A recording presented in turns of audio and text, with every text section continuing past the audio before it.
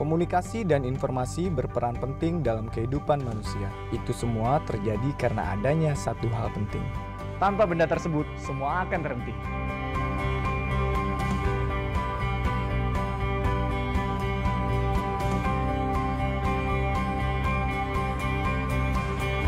Kedua satelit tersebut merupakan satelit komunikasi pertama yang menghubungkan seluruh kepulauan di Nusantara.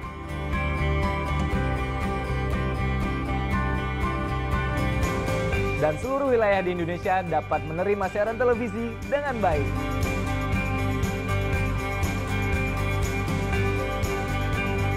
Satelit membantu kita menjelajahi dunia dengan mudah. Telkom tahun ini meluncurkan satelit Telkom 3S yang tidak hanya mempersatukan seluruh wilayah Nusantara, tapi mampu menjangkau hingga wilayah Asia Tenggara dalam kualitas layanan terbaik.